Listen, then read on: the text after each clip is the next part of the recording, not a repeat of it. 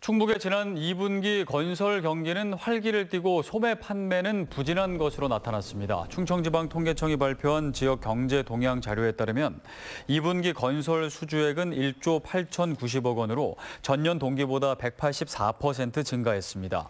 반면 편의점과 대형마트 등의 판매 부진으로 소매 판매는 2.2% 감소해 코로나19의 영향을 피하지 못한 것으로 분석됩니다.